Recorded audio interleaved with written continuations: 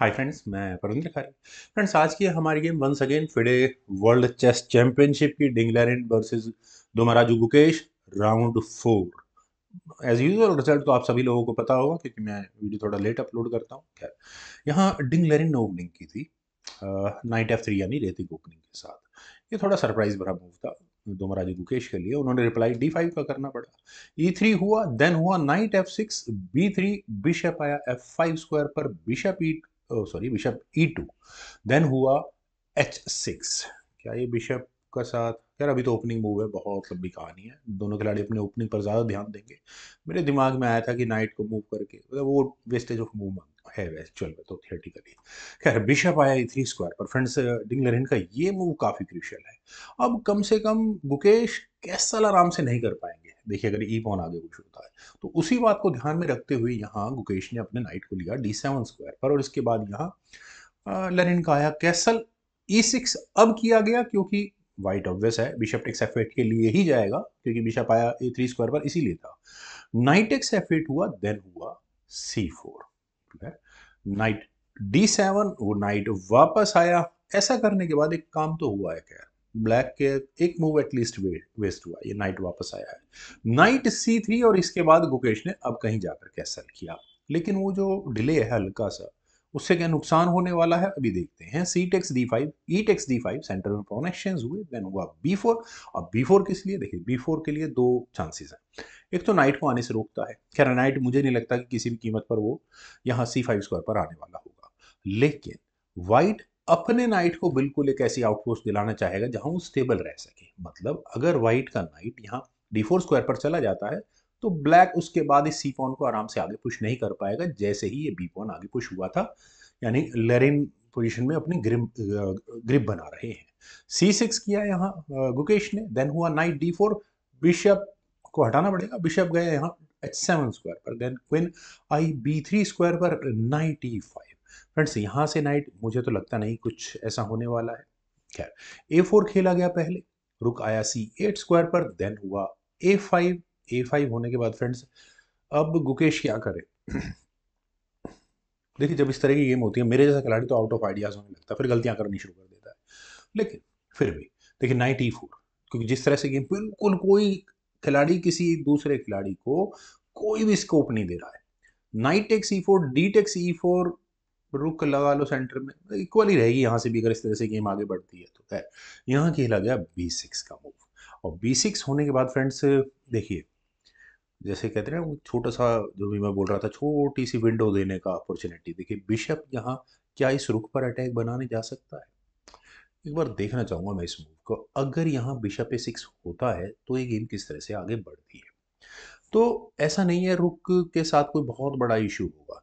यहाँ पर गुकेश के पास इक्वल चांसेस अभी भी होंगे। वो यहाँ सी पॉन को आगे पुश करके पहले नाइट और फिर उसके बाद भी दूसरे नाइट तक अटैक बनेगा। बीटेक सी फाइव कर लिया बीटेक सी फाइव पोजिशन वही रही बिल्कुल। उसके बाद बिशप टेक सी एट अगर वाइट यहाँ करता है तो बिल्कुल इक्वल गेम है। सी टेक्स डी फोर होगा और क्या होगा उसके बाद? आपको यहाँ नाइट पर अटैक बनता हुआ नज़र आ रहा होगा तो वाइट को करना पड़ेगा। नाइट टेक्स डी फोर और उसके बाद नाइट सी फोर स्क्वायर पर जाएगा। अब आपकी मर्ज़ी, आप अपना बिशप बचाओ फॉर वाइट या फिर अगले मूव में आप इस फॉक को देखो। मतलब एक्सचेंज अप होने का मौका यहाँ पर कुल मिलाकर नहीं मिलने वाला है। खैर, चलते हैं ज़रा गेम पर। तो बहुत मैं कहूँगा कि मेंटल लेवल पर मतलब मेंटल टफनेस ही चाहिए इस लेवल पर गेम को खेलने के लिए। नाइट एफ़ थ्री के ऑप्शन को चुना गया नाइट एक्शन आस्किंग है। Knight X F three check bishop takes F three then हुआ डी फोर फाइनली नाइट पर अटैक बना। क्या करे? देखिए आइसोलेटेड पॉन अगर यहाँ क्रिएट हो गया, गलती से भी D square sorry D two square पर। तो बड़ी दिक्कत होगी वाइट थोड़ा डिफेंसिव मोड में आ जाएगा। तो लेनिन ने कहा कि नहीं, अब मैं, आप ही करो जो करना है एक्सचेंज वगैरह वगैरह, जो भी कुछ है।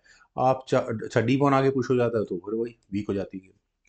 तो यहाँ डी टेक सी थ्री चुना गया गुकेश की तरफ़ से। डी टेक सी थ्री होने के बाद अब बिल्कुल आप देखो, यहाँ तीन पॉन्स हैं।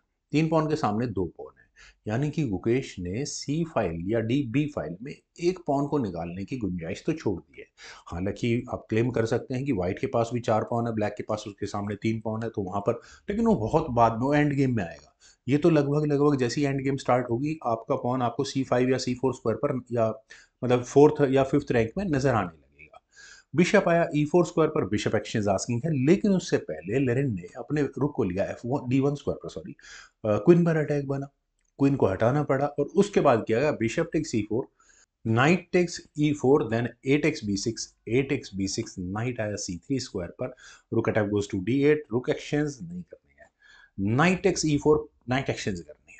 Queen takes E four then हुआ एच थ्री चलिए बैक रैंक चेकमेट का मौका मिला मतलब लेफ़्ट खोलने के लिए। Then finally c five pawn आगे पुश हुआ। अब वाइट मुझे नहीं लगता कि कोई भी तरीका है। बी पॉन को आगे पुश कर देते हैं तो अपनी तरह की दिक्कतें आती हैं। Rook takes d eight check rook takes d eight b takes c five b takes c five finally c five square पर एक पॉन तो बाहर निकल के आ चुका है। क्या ये बहुत ज़्यादा इंपॉर्टेंट मतलब बहुत ज़्यादा प्रॉब्लम वाला हो सकता है लरेन के लिए? शायद नहीं। क्यों? रुक सी वन पहले उसी पॉन पर अटैक बनाया। क्वीन ई फाइव पॉन पर डिफेंस कर लिया गया। देन हुआ क्वीन सी टू फ्रेंड्स यहाँ इस पॉइंट पर, देखिए फ्रेंड्स यहाँ लरेन ने अपनी क्वीन को सी टू स्क्वायर पर ही क्यों लिया? वाई नॉट सी फोर या सी थ्री देखिए, रुक आया डी फाइव स्क्वायर पर। ये इंपॉर्टेंट है। अब गुकेश ने अपने रुक को डी फाइव स्क्वायर पर लिया। यानी तो वैसे रुक ये सी फाइव में भी जा सकता था सी एट स्क्वायर पर भी जा सकता था, खैर। अगर ये क्वीन मान लो सी फोर स्क्वायर पर गई होती तो ई पॉन आगे पुश होने के पूरे चांसेस थे। खैर, यहाँ खेला गया जी थ्री का मूव एफ़ फाइव देन हुआ king g two king h seven queen आई सी फोर स्क्वायर पर देन हुआ queen b six queen b क्या नहीं नहीं, कुछ नहीं होने वाला। ई फोर फाइनली खेला गया। थोड़ा मेटेरियल एक्शंस की बात हो गई रुक आया ई फाइव स्क्वायर पर। E takes f five rook takes f five then queen आई फोर स्क्वायर पर। और क्या हुआ है? फ़िलहाल थोड़ी देर के लिए रुक पिन हो चुका है, यानी कि अगले मूव में जी पॉन आगे पुश होगा। और रुक पर अटैक बनेगा। क्या करें? एक ही तरीका है कि किसी तरह से इस रुक पिन को खत्म किया जाए। Queen d five queen action है। या तो रुक पिन को खत्म करो। अच्छा हाँ और क्विन वो तो करनी पड़ेगी। देखिए क्विन फोर्सफुल हो गया ना। क्विन टेक्स डी फाइव के अलावा कोई दूसरी ऑप्शन है नहीं। रुक टेक्स डी फाइव फ्रेंड्स अब यहाँ तीन पॉन्स के सामने दो पॉन्स ब्लैक के आ चुके हैं। सी फ़ाइल का पासर रुक एंड गेम में एक पॉन की लीड भी बहुत ज़्यादा मायने नहीं रखती। ड्रॉ कराने की पूरी पॉसिबिलिटी होती है। किंग आया एफ़ थ्री स्क्वायर पर, किंग जी सिक्स सेंटर की तरफ़, किंग आने शुरू हो चुके हैं। किंग आया ई फोर स्क्वायर पर, रुक से आई चेक किंग ई थ्री खैर, गुकेश ने चेक दी है, पहले बात तो ये ध्यान रहे। रुक आया डी फाइव स्क्वायर पर, फिर हुआ किंग ई फोर रुक से फिर दोबारा चेक आई, किंग आया ई थ्री स्क्वायर पर d five check two fold repetition तो हो चुके हैं किंग ई फोर और गुकेश ने कहा कि चले ड्रॉ करते हैं। रुक डी फोर चेक क्योंकि निकलना कुछ नहीं फाइनली यहाँ दोनों के मतलब थ्री फोल्ड रिपीटिशन हो गए तो ड्रॉ तो हो ही गया। Friends neck to neck fight चल रही है। चार राउंड हो चुके हैं दो दो पॉइंट्स दोनों खिलाड़ियों के पास है। दो गेम्स ड्रॉ हुई हैं, दो गेम्स के रिज़ल्ट आए हैं। वेल फ्रेंड्स काफ़ी अच्छा चल रहा है टूर्नामेंट उम्मीद आप सभी लोगों को भी ज़रूर पसंद आएगा और फिर कमेंट सजेशन का मुझे बेहद इंतज़ार रहेगा। Thank you for watching and bye for now